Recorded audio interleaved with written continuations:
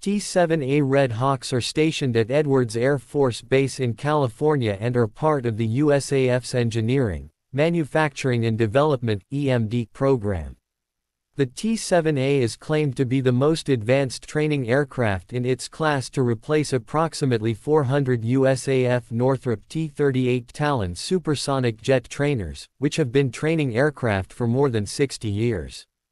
Working with Sweden's Saab, Boeing was awarded a $9.2 billion contract in 2018 to produce the T-7A Red Hawk. The initial low-level production LRP will only be carried out in February 2025. This means this trainer jet can only be produced 6.5 years after Boeing won the initial contract to supply the T-7A in 2018. USAF states that the delay in the production schedule was related to aircraft safety that had not been completed. One of them is related to the problem of the ejection seat.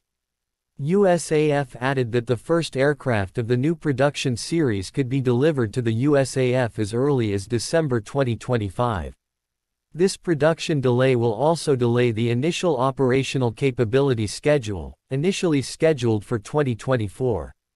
Most likely, the new IOC can be achieved in 2026.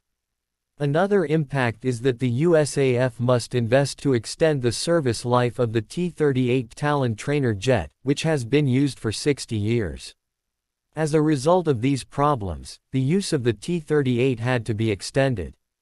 The USAF also had to fund structural modifications to the T-38 in the Pacer Classic 3 program and improved avionics. USAF is disbursing 125.3 million US dollars for fiscal year 2024 in this regard.